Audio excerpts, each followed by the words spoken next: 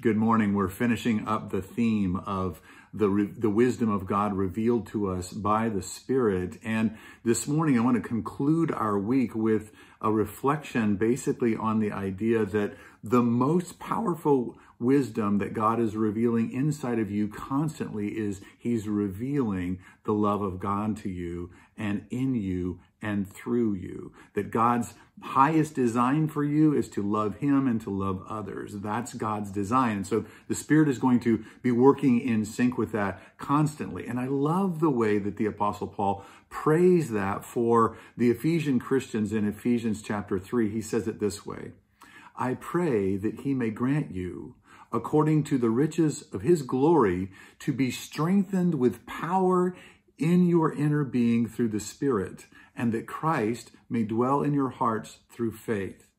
I pray that you, being rooted and firmly established in love, may be able to comprehend with all the saints what is the length and the width and the height and the depth of God's love and to know Christ's love that surpasses knowledge, so that you may be filled with all the fullness of God.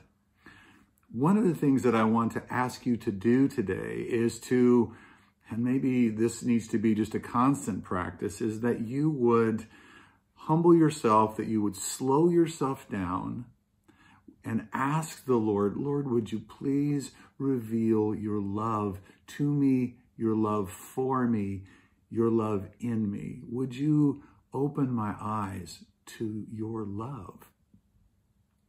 Now, this is a slower process. It's more like dancing a waltz than it is like dancing hip hop. And to be able to access this kind of wisdom and revelation of the love of God through the Spirit, you're going to have to slow down. And so I want to ask you to slow yourself down get your heart quiet and ask the Holy Spirit, would you please awaken my heart afresh to God's love for me? Awaken me to love so that I can love you and I can love others well. That's our word for today. As we go into this weekend, let's sink our roots deeply into the love of God by slowing down and asking the Spirit to reveal it to us. Thanks so much for joining me. We'll see you on Sunday.